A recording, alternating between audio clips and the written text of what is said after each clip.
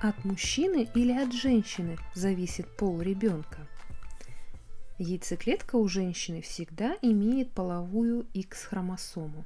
Сперматозоид же может содержать как X, так и Y-хромосому. Если яйцеклетку оплодотворяет сперматозоид с X-хромосомой, пол малыша будет женским.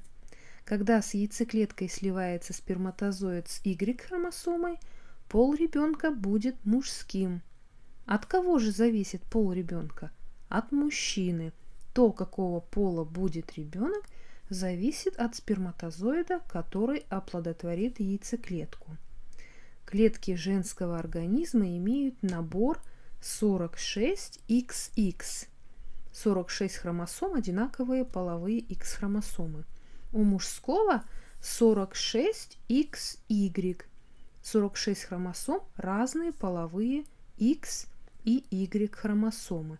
Если первым успеет достигнуть яйцеклетки сперматозоид с Y хромосомой, будет мальчик.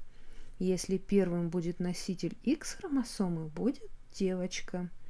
Некоторые ошибочно принимают сперматозоиды за микроскопических детей. Это не так. Ребенок зарождается в организме женщины при слиянии яйцеклетки с полным набором хромосом и сперматозоида с тем же количеством хромосом. Только при этом слиянии клетки начинают делиться и зарождается жизнь.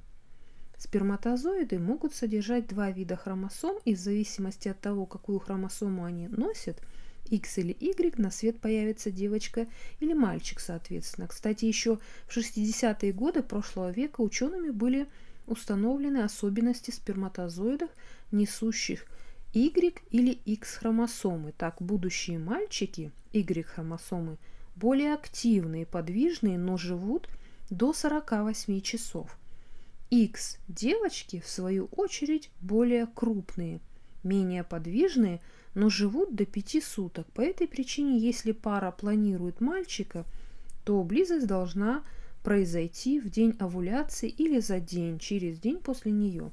Если девочку, то за 4-5 дней до предполагаемой овуляции. Если вас интересует – есть ли методы планирования пола ребенка, рекомендую вам посмотреть ролик на эту тему на моем канале. Если эта информация пригодилась вам, не забудьте поделиться с друзьями и поставить лайк. Спасибо за внимание, подписывайтесь на канал. До новых встреч, друзья!